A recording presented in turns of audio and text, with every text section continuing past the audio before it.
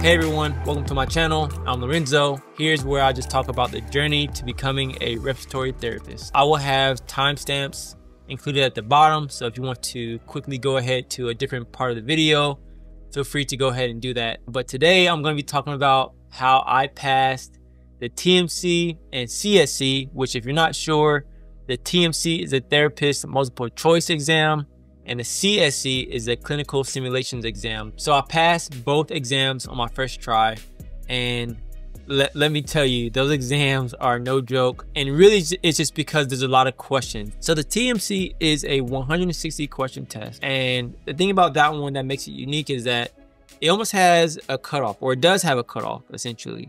So in order to take your CSE, right, which you get your RRT when you pass your CSE, and you get your CRT, which is Certified Respiratory Therapist, after you pass your TMC. However, again, to get your RRT or to take your CSE, you have to pass the high cut of the TMC. I know that was a lot of wordplay, but hopefully you're, you're catching along. So the minimum score to make on your TMC is a 66%. So you can pass with that and get your CRT and be fine to a certain degree. However, obviously most of us are chasing our RRT and honestly most hospitals right now are only looking for RRTs as well. So with that, that just means that if you pass but don't make the high cut, you will have to retake the TMC in order to take the CSE to get your RRT. So the passing high cut score is uh, 72% or greater. And so if you pass that, then of course you get your CRT and then you're eligible again to take the CSE.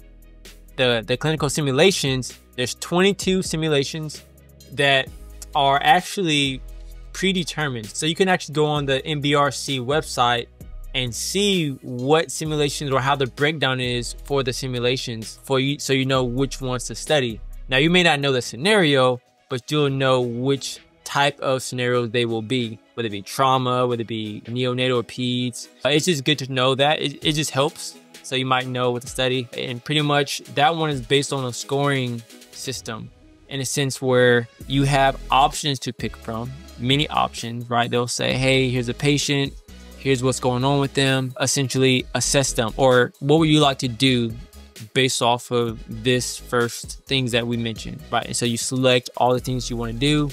And thing in your selections, it'll give you a whole bunch. And you'll see this as you're practicing going through the CSE practice exams. But for these, you have to select the right things. And each one you select could have a different point awarded to it. So let's say you picked, you know, do a blood draw or a chest x-ray, right? Those could be one point, two points, you don't know. However, the goal of the CSE is to pretty much get or pick as many points as possible more than wrong points.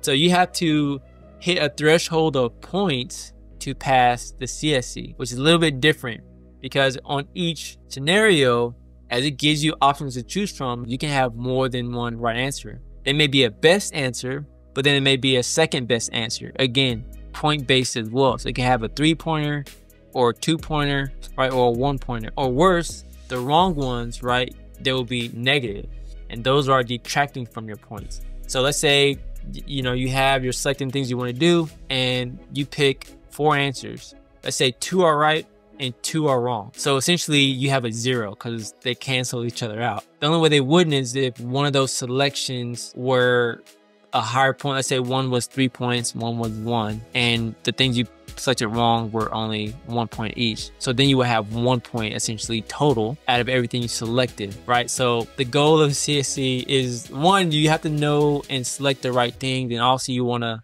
do that so you know you're, you're doing providing the right treatment for a patient and you're able to process the test right. However, it's it's about getting those points, right? You want to get as many points as possible. And you'll learn this. They'll say, you know, both the TMC and the CSE is pretty much just test taking, right? The NBRC they're looking at it at a certain way. And so you have to pretty much think about these things in a certain way to pass these tests the way that they view it. You'll find out that as you're maybe going through clinicals and whatnot, you know, real world, right, can all obviously change a lot of different things versus how you treat some of the, the patients or scenarios. However, based on NBRC, this is how you should do something. So that's a little bit about both the TMC and the CSE. So pretty much I made it in a point to myself I wanted to pass both my TMC and my CSE before I even finished off phase two, really. And actually, myself and the other my other classmates kind of all had that same goal and mindset that we wanted to do that. So, so the TMC, it was a hard test because of the time, right? It's just you and your thoughts sitting down at the computer. However, the biggest thing is that with almost with anything, honestly, if you prepare, then you'll be fine, right? Preparation is the, one of the keys into anything in terms of being successful at it. So I, we prepared, we studied it a lot, and that helped us pass that knowledge-based TMC. You know, at one point, just to be honest, I was like, man, I definitely, you know, failed this because it feels like, which you'll hear this a lot. They'll say, some people will say, if you feel like you failed, then you do you actually did good, which is kind of counterintuitive. Like, I actually don't like that. You know, I want to know that I passed and feel confident. And of course, they say the vice versa. If you feel confident, then more likely maybe didn't do so as well. Now, although the opposite was true for me, I did prepare. I think I really felt that way more so just due to maybe nerves, some, you know, it's first first time taking the test. However, I, I finished with about 10, 20 minutes left. I was able to kind of go back and review just a few more questions that I bookmarked because they do allow you to bookmark. And uh, I came out and actually went with one of my classmates and he passed and then I passed and I was so grateful that for that time and that I passed it. So for the CSE, I didn't have the chance to take it right before I left for phase two. I actually took it in transition out of phase two actually. So we graduated and due to there being no time slots available for me to take the CSE, really for all of us in a good time slot, I actually took it three days after our graduation date I had to travel through San Antonio to my duty station. So I went ahead and said, hey, I'll stop here, um, take the test, find a spot, and hopefully pass. And the rest of the ride home will either be good or somewhat down, right? Depending on how I did. And so I took it. Nobody else was there taking the test. And I came out, did my time, and passed thankfully. Leading up to that time, also we, like I said, there was a lot of studying, a lot of material that we had. Some things that I want to talk about are the study materials that I use or that we use to study. I'll first talk about the TMC specific things that we use to study for that test, and then talk about the CSE specific things that we use as well. Now, there are some websites that covered both exams, but that would be up for you to decide on what you would like to use, of course. So for the first thing that I want to go based off of is what you get when you graduate from phase one, not from phase two. But so for phase one, you're going to be using Kettering, right? So Kettering is programming a website where you get books. Uh, they all they have so many different resources to use to study. It's actually my favorite. The guy will break down each topic so well, so understandable and simple. And so I was able to retain that more. Of course, you can walk through with the study guide that you'll get for the program through Kettering. And there's other things that you can use through the Kettering website. Also, there are different tests you can take. You get a certain amount of coins, if you will. And so you can, or credits, you can use those credits to select which test to take. And they're practice tests, of course, but to use that to help study, you can also get more credits, which actually isn't a bad price. What I would do or what we did was kind of combined, you know, and say, hey, like I'll get some credits, you get some credits, and then we'll just take them together so that you can take multiple different topics or tests on the different topics together and learn as you go. That audio that he also has or that Kettering has was amazing. It was, again, the same thing. It, it, goes through and reads through the book as well, through the study guide. And so I was able to just kind of listen to that and really help retain and get a good grasp and understanding. So the next one I want to talk about is Lindsey Jones. Lindsey Jones is one that I had heard about doing some pre-research prior before going to the course and even other respiratory therapists what they use who aren't even going through or who didn't go through the military side but just in general just civilian side. And they mentioned Lindsey Jones. And so I didn't really get into it. We didn't get into it until somebody had brought it up and well actually one of our instructors did.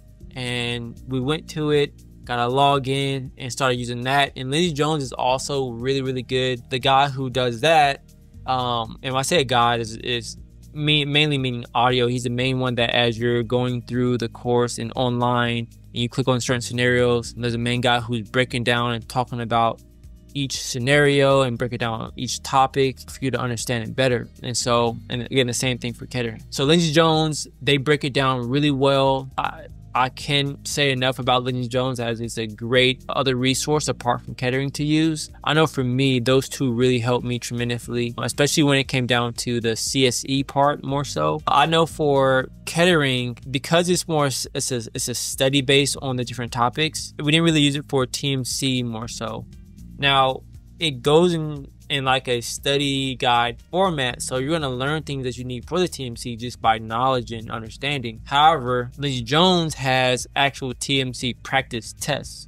So you can actually use that, take some practice tests on it for the TMC and kind of help you out that way. Next, um, another one of my favorites, and I know I said Lindsey Jones and Kettering were my favorite, but I want to give a shout out to Respiratory Coach on YouTube. If you haven't seen him or already done some research or just go to YouTube and type in respiratory coach. He has so many great videos that that literally talk about every single topic as far as respiratory care, ventilators and ventilator management. You talk about PFTs, cardiac, like all of it. It's all there. He he does a great job and breaking it down so you can understand in a very simple, practical way. He walks you through it. I used him a lot with especially going through the course with things that you may not understand or even going back to things that you may have forgotten or maybe need a little bit more explanation on. And so he's a great resource that I highly recommend using and looking up so that you can definitely help get ahead with some of the tests and knowledge that you'll have to know. I also want to mention and talk about respiratory therapy zone. I use them quite a bit, definitely a lot for the TMC. They have a great portion there for the TMC where you just take a lot of questions and you answer them multiple choice and they have a breakdown for each answer and why that's the case. They also have a lot of resources. So does Respiratory Coach. He also has his own website that I highly recommend you going to. He has his own like boot camp and things you can purchase on your own. But also some free resources, just like respiratory therapy zone to use, whether it be normal values and things like that in PDF form. So you can save them to your phone, kind of have those so you can kind of go back and reference those whenever you may need them for your memory. And so both of those are great. Again, respiratory therapy zone is another great resource for sure that we use, especially for the TMC. And then the other one I want to mention is actually the NBRC website. They also have practice tests you can take on their own website. You can sign up, log in, which you'll have to do so anyway, and take some tests. I took a couple of them. And so it's another great place where you can kind of get some more practice if you like. I use that for the CSE mainly. And so again, just another resource to take for the exams that you can also utilize. Honorable mention, I don't want to forget about Quizlet. Course, we all know about Quizlet by now. Hopefully, if you haven't, Quizlet is just a, another online platform where you can log in, sign up, and people all over the world have gone through different programs, right, of all different topics and things like that. So you can pretty much learn about anything in terms of notes and note cards that they may have made and learn from it and, and use those to help you study for whatever program or topic that you're going through. So Quizlet, of course, we use that. Of course, we would make them ourselves and use them in play games and whatnot. So definitely another great resource to use, and I won't, wouldn't count that out in terms of if you're needing something else to help you study. So I will have the resources that I mentioned that we use to pass the TMC and the CSE down below. So if you're looking to rehome your skills or knowledge, just go back to study maybe for a test you have coming up or just to practice, right? It's always good to keep on practicing. Then I'll have those listed down below for you to take a look at. If you have any other questions for me, please let me know. Send me an email, write them down below in the comments. And I'll take a look at it. I try my best to get back to your question and comments as quickly as possible. But uh, yeah, it's been a wonderful journey. I'm now done with phase two. I've obtained my CRT and my RRT, thankfully, and I've obtained my associate's degree that you get from it as well. And I'm thankful. So now the next journey is obviously working. Uh, now I'm a reservist, like I mentioned. So my thing is to now go and find a hospital, which I have found one. Maybe I'll talk about that in another video. However, I'm excited to start working and I'll maybe talk about the interview process. I can make another video about that. Let me know what you like. But anyways, uh, it was great to catch up. Hopefully this video helped you all and, and God bless.